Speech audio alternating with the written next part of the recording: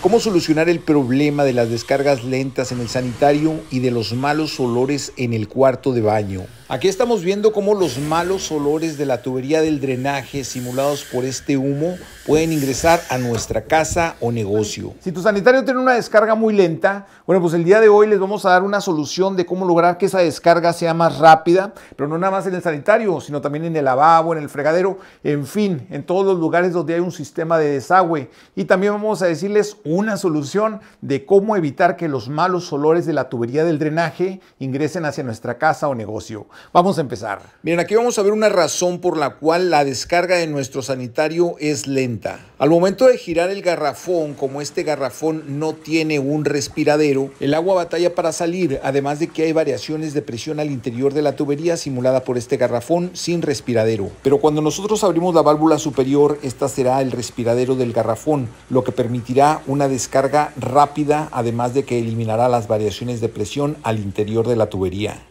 El problema de los respiraderos es que al estar conectados directamente a la tubería del drenaje permiten el ingreso de los malos olores sin que nada se los impida a nuestra casa o negocio, como podemos ver aquí. Lo que se hace para evitar estos malos olores es conducir la tubería del respiradero hacia la azotea, donde se dispersarán con lo que evitaremos que nuestra casa o negocio huelan mal y también evitaremos enfermarnos por estar respirando estos gases de la tubería del drenaje. Como vimos, los sanitarios y los desagües del drenaje en general ocupan un respiradero para hacer una descarga rápida y eficiente, que muchas veces no les pueden colocar, otras veces no les quieren colocar y otras veces se les olvida colocarlos. Bueno, pues para esos casos, OTI diseñó estas válvulas de admisión de aire que funcionan como ventilación secundaria o respiraderos secundarios Cuentan con la tecnología Swiss Spot. La válvula se abre al momento de que se hace una descarga para que esta descarga sea rápida. Y cuando la descarga termina, la válvula se cierra inmediatamente evitando que ingresen hacia tu casa o negocio los malos olores de la tubería del drenaje.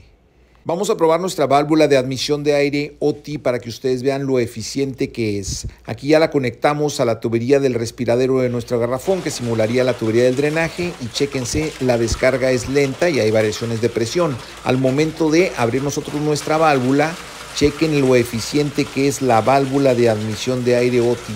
La descarga se hace muy rápidamente y no hay variaciones de presión adentro del garrafón que estaría simulando nuestra tubería. Como ustedes pueden ver, funciona especial.